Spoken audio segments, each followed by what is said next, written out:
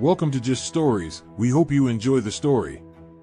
The Six Day War Israel's Swift Victory and Its Far Reaching Consequences by Just Stories. Chapter 1 A Powder Keg in the Middle East. In order to understand the Six Day War and its far reaching consequences, it is essential to first examine the historical context that led up to the conflict. The establishment of the State of Israel in 1948 and the subsequent Arab Israeli conflict created a powder keg in the Middle East that was bound to explode at some point. This chapter will explore the tensions and events that preceded the Six Day War. The origins of the Arab Israeli conflict. The roots of the Arab Israeli conflict can be traced back to the late 19th century when Jewish immigrants began settling in Palestine, then part of the Ottoman Empire. The Zionist movement, which sought to establish a Jewish homeland in Palestine, gained momentum in the early 20th century and was supported by many Jews around the world. However, the Arab population of Palestine viewed the Zionist movement with suspicion and hostility. They saw the influx of Jewish immigrants as a threat to their own rights and interests, and feared that the establishment of a Jewish state would lead to their displacement and marginalization. The conflict between Jews and Arabs in Palestine escalated in the years leading up to World War II, and became even more intense following the Holocaust, which led to a massive influx of Jewish refugees to Palestine. The United Nations, which was established in 1945, proposed a partition plan in 1947 that would have created separate Jewish and Arab states in Palestine. The plan was accepted by the Jewish leadership, but rejected by the Arab states, who argued that it violated their sovereignty and rights. The establishment of Israel and the First Arab-Israeli War in 1948 Israel declared its independence, and the Arab states responded by launching a war to prevent its establishment. The conflict, which lasted for over a year, resulted in the displacement of hundreds of thousands of Palestinians and the establishment of a state of Israel that was larger than what had been proposed by the United Nations.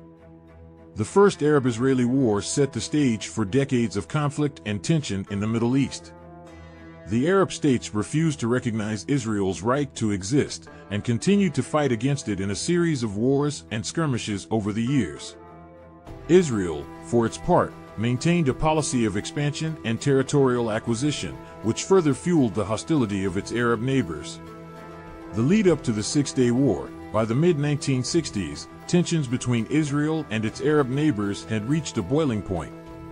In 1964, the Palestine Liberation Organization was established with the goal of liberating Palestine from Israeli control. In 1967, Egypt, Syria, and Jordan signed a mutual defense pact and began mobilizing their armies in preparation for war with Israel. In May of 1967, Egypt blockaded the Straits of Tiran, cutting off Israel's access to the Red Sea and the port of Eilat. Israel saw this as a casus belli and launched a preemptive strike on June 5, 1967, targeting the air forces of Egypt, Syria, and Jordan. The Six Day War had begun. In conclusion, the Six Day War was the result of decades of tension and conflict between Israel and its Arab neighbors. The establishment of the State of Israel in 1948 and the subsequent Arab-Israeli conflict created a powder keg in the Middle East that was bound to explode at some point. The lead up to the Six Day War was characterized by mobilization, military buildup, and saber rattling on both sides. Chapter 2 The Lightning Strike. On June 5, 1967, Israel launched a surprise attack on the air forces of Egypt, Syria, and Jordan in what would come to be known as the Six Day War. In this chapter, we will explore the military operations of the war and the decisive Israeli victory that changed the course of Middle Eastern history. The Israeli preemptive strike, Israel's preemptive strike on the morning of June 5, 1967, was designed to cripple the Arab air forces before they could launch an attack on Israel. The Israeli Air Force targeted Egyptian airfields in the Sinai Peninsula, Syrian airfields in the Golan Heights, and Jordanian airfields in the West Bank. The IAF's success in destroying most of the Arab air forces on the ground was a major factor in Israel's victory in the war. The loss of air power severely hampered the Arab army's ability to defend their territory and allowed the IAF to operate with near impunity throughout the conflict. The fighting on multiple fronts. Following the initial airstrikes, Israel launched a ground offensive on multiple fronts. In the Sinai Peninsula, Israeli forces quickly overran Egyptian positions and advanced towards the Suez Canal. In the Golan Heights, Israeli tanks and infantry battled Syrian forces in a series of intense engagements. In the West Bank, Israeli forces faced stiff resistance from Jordanian troops who were dug in around the city of Jerusalem. Despite facing determined opposition on all fronts, Israeli forces made rapid progress, and by the end of the first day of the war, had seized control of the Sinai Peninsula, the Golan Heights, and the West Bank. The decisive Israeli victory, over the next five days, Israeli forces continued to make gains on all fronts. They captured the old city of Jerusalem, which had been under Jordanian control since the 1948 war, and took control of the West Bank, the Golan Heights, and the Sinai Peninsula. By the end of the war, Israel had tripled its territory and had achieved a decisive military victory over its Arab neighbors. The aftermath of the war, the Six Day War, had far reaching consequences for the Middle East and the world. Israel's territorial gains changed the balance of power in the region and had a profound impact on the Palestinian people, many of whom became refugees as a result of the war. The Arab states, humiliated by their defeat, became more hostile towards Israel and refused to recognize its right to exist. The Six Day War also had an impact on the wider geopolitical landscape of the Cold War. The United States, which had supported Israel during the war, became more closely aligned with the Jewish state, while the Soviet Union, which had supported the Arab states, lost influence in the region. In conclusion, the Six Day War was a lightning strike that changed the course of Middle Eastern history. Israel's preemptive strike on the Arab air forces was a daring move that paid off in a swift and decisive victory. The fighting on multiple fronts was intense and brutal, but Israel's military superiority ultimately prevailed. The aftermath of the war would have far-reaching consequences for the Middle East and the world, and would set the stage for decades of conflict and tension. Chapter 3 Aftermath and Consequences The Six Day War had a profound impact on the Middle East and the world. In this chapter, we will examine the immediate and long-term consequences of the war, including the territorial gains and losses for Israel and its Arab neighbors, the refugee crisis, and the impact of the war on the wider Middle East. Territorial gains and losses The most immediate consequence of the Six Day War was Israel's territorial gains. Israel captured the Sinai Peninsula from Egypt, the Golan Heights from Syria, and the West Bank, including East Jerusalem, from Jordan. These territories more than tripled the size of Israel's pre-1967 borders. The territorial gains were seen as a triumph by many Israelis who believed that the enlarged borders would provide greater security for the Jewish state. However, the acquisition of territory also created new challenges for Israel, including the management of a large Arab population in the West Bank and Gaza, and the ongoing conflict with the Palestinians. The refugee crisis, the Six Day War also resulted in a significant refugee crisis as hundreds of thousands of Palestinians were displaced from their homes in the newly occupied territories. Many fled to neighboring Arab states, while others remained in the occupied territories, where they became part of the Palestinian diaspora. The refugee crisis has had a long-term impact on the Middle East and remains a major source of tension and conflict to this day.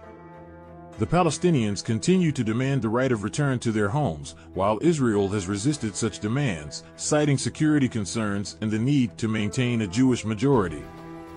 The impact on the wider Middle East the Six Day War had a profound impact on the wider Middle East and contributed to the ongoing conflict between Israel and its Arab neighbors. The Arab states, humiliated by their defeat, refused to recognize Israel's right to exist and vowed to continue the fight for Palestinian liberation. The war also had an impact on the wider geopolitical landscape of the Cold War. The United States, which had supported Israel during the war, became more closely aligned with the Jewish state while the Soviet Union, which had supported the Arab states, lost influence in the region. In the years following the Six Day War, Israel and its Arab neighbors engaged in a series of conflicts and peace negotiations, including the Yom Kippur War in 1973, the Camp David Accords in 1978, and the Oslo Accords in 1993. Despite these efforts, the conflict between Israel and the Palestinians remains unresolved, and the wider Middle East continues to be a region of instability and tension. In conclusion, the Six-Day War had far-reaching consequences for the Middle East and the world. The territorial gains and losses for Israel and its Arab neighbors created new challenges and tensions, while the refugee crisis had a long-term impact on the region. The war also had an impact on the wider geopolitical landscape of the Cold War and contributed to ongoing conflicts and tensions in the Middle East. In the next chapter, we will examine the international reactions to the Six-Day War. Chapter 4 Global Reactions and Responses The Six-Day War had far-reaching consequences not only for the Middle East, but for the world as a whole. In this chapter, we will examine the international reactions to the war and the responses of the United States, the Soviet Union, and other major world powers. The United States The United States played a key role in the Six-Day War, providing military and diplomatic support to Israel, President Lyndon B. Johnson saw Israel as a key ally in the region and feared that a defeat for Israel would embolden Soviet-backed Arab states. In the days leading up to the war, the United States attempted to broker a peaceful solution to the crisis, but when Egypt blockaded the Straits of Tiran, the United States gave Israel the green light to launch a preemptive strike. Following Israel's victory in the war, the United States increased its support for Israel, providing military aid and diplomatic backing. This support would continue in the years following the war, with the United States becoming one of Israel's closest allies. The Soviet Union The Soviet Union also played a significant role in the Six-Day War, providing military and diplomatic support to the Arab states. The Soviet Union saw the conflict as a chance to increase its influence in the Middle East and to counterbalance the United States' support for Israel. In the days leading up to the war, the Soviet Union mobilized its forces in the region and warned Israel against launching a preemptive strike. When the war broke out, the Soviet Union condemned Israel's actions and provided military and economic aid to the Arab states. Following the war, the Soviet Union continued to support the Arab states and to criticize Israel's occupation of the newly captured territories. However, the Soviet Union's influence in the region would be undermined in the years following the war, as the United States became more closely aligned with Israel. Other world powers, the Six-Day War also had an impact on other major world powers, including the United Kingdom, France, and China. The United Kingdom and France, which had supported Israel in the 1956 Suez Crisis, were more cautious in their support during the Six-Day War, and called for a peaceful resolution to the conflict. China, which had previously supported the Arab states, remained largely neutral during the conflict, but saw Israel's victory as a blow to Soviet influence in the region. In conclusion, the Six-Day War had far-reaching consequences for the world, with major world powers taking sides and getting involved in the conflict.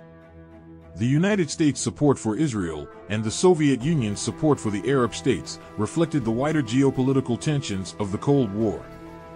The aftermath of the Six-Day War would continue to have an impact on the world in the years to come, with ongoing conflicts and tensions in the Middle East, and with Israel and its Arab neighbors still struggling to find a peaceful resolution to their differences. Chapter 5 Legacy and Lessons Learned the Six-Day War had a profound impact on the Middle East and the world, and its legacy continues to be felt to this day. In this chapter, we will examine the enduring legacy of the war and the lessons that have been learned from it. The impact on the Israeli-Palestinian conflict, perhaps the most significant legacy of the Six-Day War is its impact on the Israeli-Palestinian conflict. The capture of the West Bank and Gaza Strip by Israel led to the displacement of hundreds of thousands of Palestinians, and the establishment of Israeli settlements in these territories has been a major source of tension and conflict ever since. The ongoing conflict between Israel and the Palestinians remains one of the most intractable in the world, and the legacy of the Six-Day War continues to shape the attitudes and actions of both sides. The broader Arab-Israeli conflict, the Six Day War also had a significant impact on the broader Arab Israeli conflict. The Arab states, humiliated by their defeat, became more hostile towards Israel and continued to reject its right to exist. This hostility has contributed to ongoing conflicts and tensions in the region and has made it difficult to achieve a lasting peace. The role of military preparedness, the swift and decisive victory of Israel in the Six Day War was largely due to its military preparedness and readiness to act. Israel's preemptive strike on the Arab air forces and its rapid ground offensive on multiple fronts caught the Arab states off guard and allowed Israel to gain the upper hand. The importance of military preparedness has been a key lesson learned from the Six Day War and has been emphasized in the military strategies of many countries since then. The role of diplomacy, the Six Day War also highlighted the importance of diplomacy in preventing and resolving conflicts. The United States' efforts to broker a peaceful solution to the crisis were ultimately unsuccessful, but diplomatic efforts have been successful in other conflicts in the region, including the Camp David Accords in 1978 and the Oslo Accords in 1993. The importance of diplomacy as a tool for conflict resolution has been a key lesson learned from the Six Day War and has been emphasized in efforts to resolve ongoing conflicts in the Middle East and elsewhere. In conclusion, the Six Day War had a profound impact on the Middle East and the world, and its legacy continues to be felt to this day. The ongoing Israeli Palestinian conflict, the broader Arab Israeli conflict, and the lessons learned about military preparedness and diplomacy are just a few of the ways in which the war has shaped the world we live in.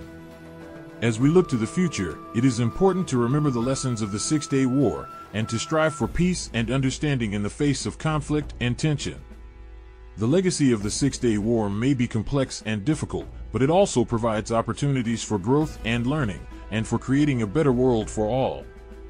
Thank you for watching our story. Don't forget to like, share, and subscribe so you don't miss out on our next video.